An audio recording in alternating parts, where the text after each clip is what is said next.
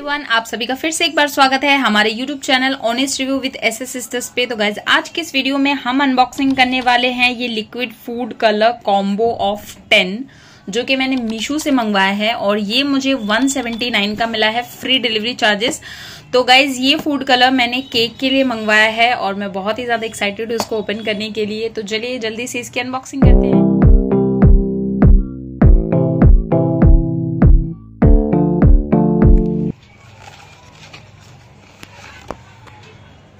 तो गाइज़ ये है वो फ़ूड कलर जो मैंने मंगवाया है और जैसे मैंने बताया, ये मैंने केक के लिए मंगवाया है क्योंकि मैं घर पे केक्स वगैरह भी बनाती हूँ।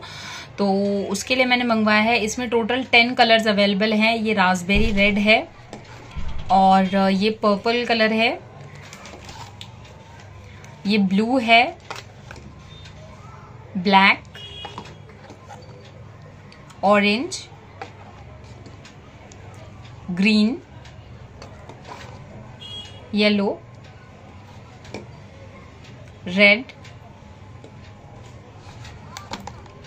pink and brown colour तो ये टोटल दस कलर्स हैं इसमें और अभी तो मुझे पता नहीं है कि आ, किस तरीके का कलर है ये कैसा इसको यूज़ करने के बाद ही समझ में आएगा। ओवरऑल uh, मैंने इसका रिव्यू चेक किया था मुझे सारे पॉजिटिव रिव्यूज़ ही मिले हैं और काफ़ी अच्छा इसका रेटिंग वगैरह भी था। सो so, गाइज़ अगर मैं बात करूँ एक पीस की तो ये एक पीस आप देख सकते हो ट्वेंटी फाइव रुपीज़ का है। अगर आप लेते हो उसको शॉप से बाहर आई डोंट नो शॉप पे ये मिलेगा भी कि नहीं मिलेगा।